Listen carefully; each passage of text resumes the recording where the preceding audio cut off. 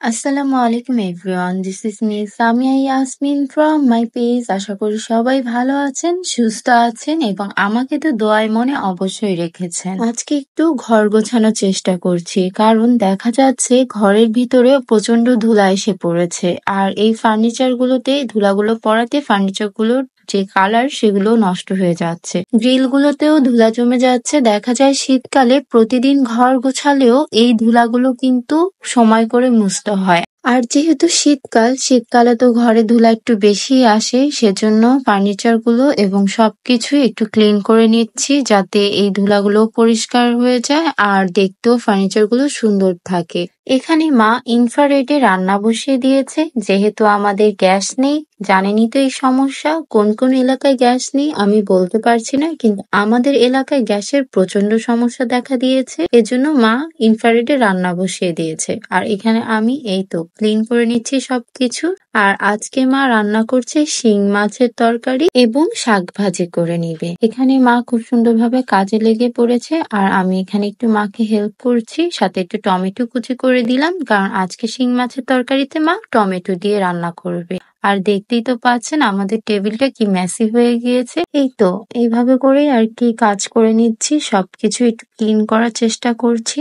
ঘরের সৌন্দর্য রক্ষায় ফার্নিচার কিন্তু আপনাদেরকে নিয়মিত পরিষ্কার রাখতেই হবে। এতে ঘরের সৌন্দর্য এমনিতেই বেড়ে যায়। যাই হোক, এ পর্যায়ে মা শিং মাছের তরকারিটি রান্না করে ফেলেছে এবং এখানে শাকের রেসিপিটিও বসিয়ে দিয়েছে।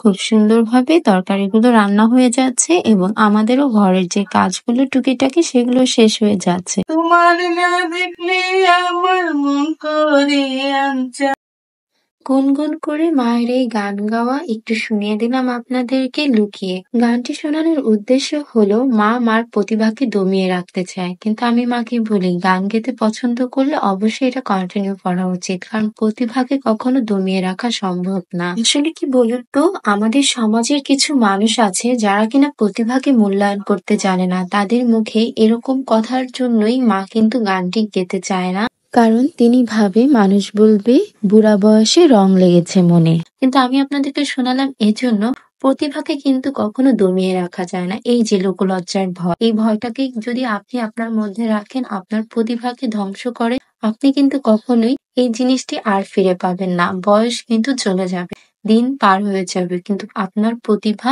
কিছু নিম্ন মানসিকতার মানুষের জন্য সেখানেই ধ্বংস হয়ে যাবে। তাই নিজের প্রতিভাকে মূল্যায়ন করতে শিখুন, নিজের প্রতিভাকে নিয়ে বাঁচতে শিখুন। আমি তো মাকে বলেছি, যে যাই বলুক, আমি তো আপনার গান শোনাবই। আমি একটা কথা আপনাদেরকে জানাতে চাই, আমার নিজের আম্মু যিনি, সে কিন্তু একজন লেখিকা।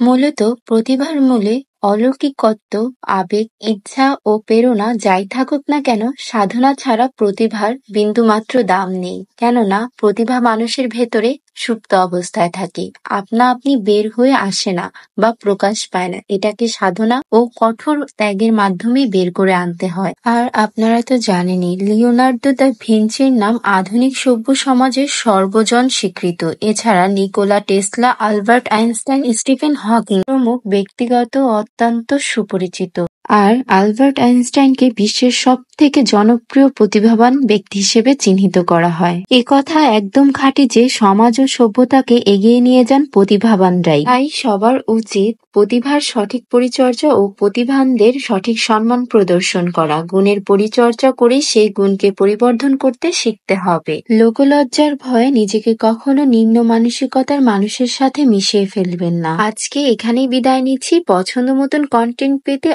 অবশ্যই আমার পেজটিকে লাইক ফলো শেয়ার করে পাশে থাকবেন। সবাই ভালো থাকবেন, সুস্থ থাকবেন। আল্লাহ হাফেজ।